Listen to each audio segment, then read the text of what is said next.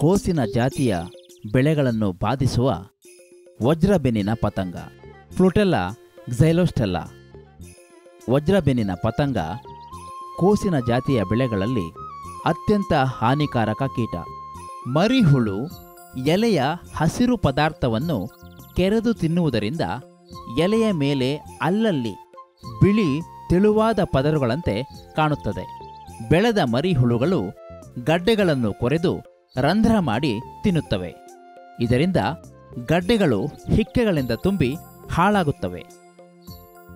ಎಲೆಗಳ ಮೇಲೆ ಬಿಳಿ ತೆಳುವಾದ ಪದರಗಳನ್ನು ನಾವು ಇಲ್ಲಿ ನೋಡಬಹುದು. ಗಡ್ಡೆಯ ಮೇಲೆ ರಂಧ್ರಗಳು ಮತ್ತು ಗಡ್ಡೆಯನ್ನು ಸಂಪೂರ್ಣವಾಗಿ ತಿಂದು ನಾಶಪಡಿಸಿರುವುದನ್ನು ಈ ಚಿತ್ರದಲ್ಲಿ ನಾವು ನೋಡಬಹುದು. ವಜ್ರಬೆನ್ನಿನ ಪತಂಗ ಸಮಗ್ರ ನಿರ್ವಹಣಾ ಕ್ರಮಗಳು. ಕೋಸು ನಾಟಿ ಮಾಡುವ ಹದಿನೈದು ದಿನ ಮೊದಲು ಪ್ರತಿ ಇಪ್ಪತ್ತೈದು ಸಾಲಿಗೆ ಎರಡು ಸಾಲು ಬಲೆ ಬೆಳೆಯಾಗಿ ಅಥವಾ ಬೋನು ಬೆಳೆಯಾಗಿ ಸಾಸಿವೆ ನಾಟಿ ಮಾಡಬೇಕು.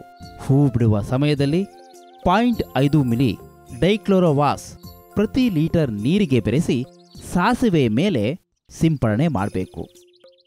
ಕೀಟದ ಹಾನಿ ಕಂಡಲ್ಲಿ ಪ್ರತಿ ಲೀಟರ್ ನೀರಿಗೆ ಒಂದು ಪಾಯಿಂಟ್ ಮೂರು ಮಿಲಿ ಸ್ಪೈನೋಸ್ಯಾಡ್ ಎರಡು ಪಾಯಿಂಟ್ ಐದು ಎಸ್ ಸಿ ಅಥವಾ ಪಾಯಿಂಟ್ ನಾಲ್ಕು ಗ್ರಾಂ ಎಮಾಮೆಕ್ಟಿನ್ ಬೆಂಜೋಯೇಟ್ ಅಥವಾ ಒಂದು ಮಿಲಿ ಬಿ ಟಿ ಕೀಟನಾಶಕ ಅಥವಾ ಎರಡು ಮಿಲಿ ಟೋಲ್ಫೆನ್ ಫಿರಾಡ್ ಹದಿನೈದು ಇಸಿ ಬೆರೆಸಿ ಸಿಂಪಡಿಸಬೇಕು.